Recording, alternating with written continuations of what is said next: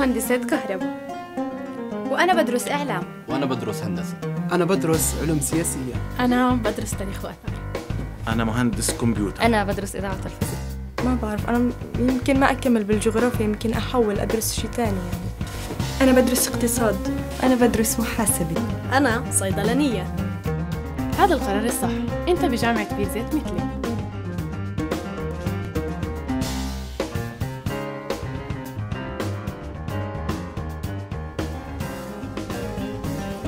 بيرزيت أول جامعة عربية في فلسطين.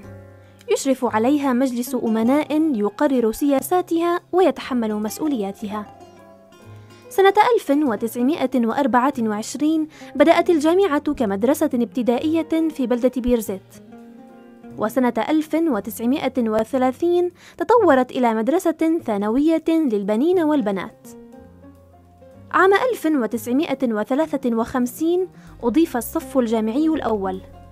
وسنة 1961 أضيف الصف الجامعي الثاني. عام 1967 اقتصر التعليم فيها على المرحلة الجامعية المتوسطة وصارت كلية بيرزيت. عام 1975 أضيف الصف الجامعي الثالث. وتحول اسمها إلى جامعة بيرزيت. أما عام 1976 احتفلت الجامعة بتخريج أول فوج من حملة البكالوريوس.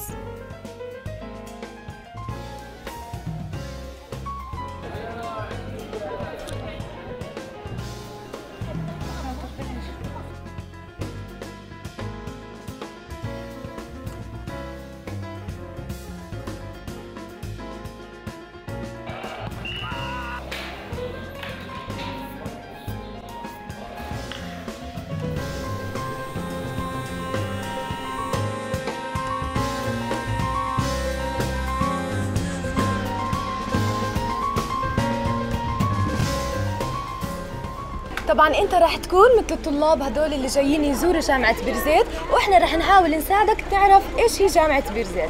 وعشان تعرف يلا تعال معنا نورجيك أقسام الجامعة واحد واحد. يلا.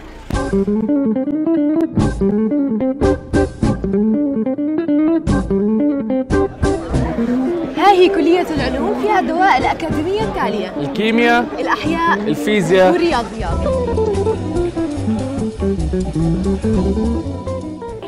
في كلية التربية فيها دائرة المناهج والتعليم معلم المرحلة الأساسية. وفيها برامج التخصصات التالية تعليم العلوم تعليم الرياضيات تعليم الاجتماعيات.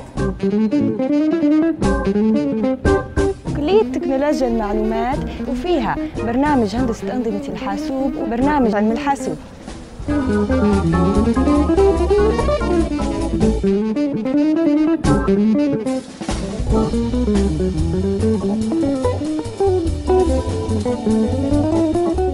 كلية الأداب تعتبر أكبر كلية في الجامعة وتحتوي على أكبر عدد من الدوائر منها دائرة اللغة العربية وأدابها دائرة اللغة الإنجليزية وأدابها وتشمل على فرعي الترجمة ودائرة اللغة الفرنسية. وكمان دائرة علم الاجتماع وعلم الإنسان دائرة التاريخ والآثار دائرة الجغرافيا دائرة علم النفس. وكمان برامج الإعلام تتفرع من كلية الآداب.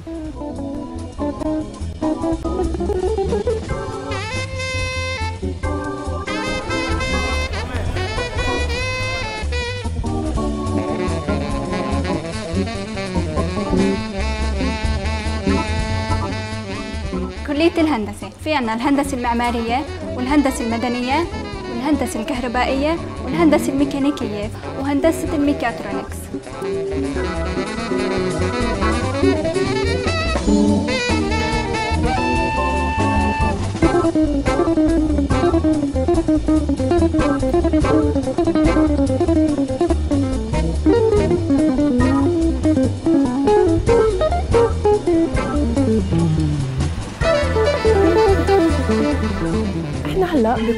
الحقوق والإدارة العامة اللي بتضم القانون والعلوم السياسية والإدارة العامة.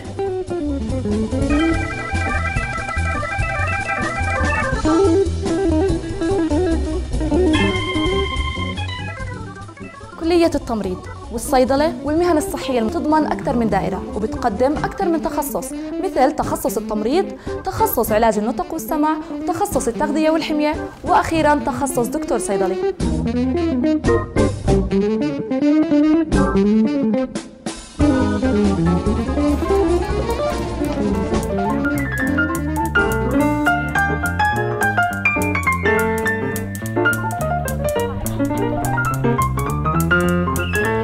بكلية الأعمال والاقتصاد عندنا أربع دوائر. دائرة المحاسبة ودائرة الاقتصاد ودائرة إدارة الأعمال والتسويق ودائرة العلوم المالية والمصرفية.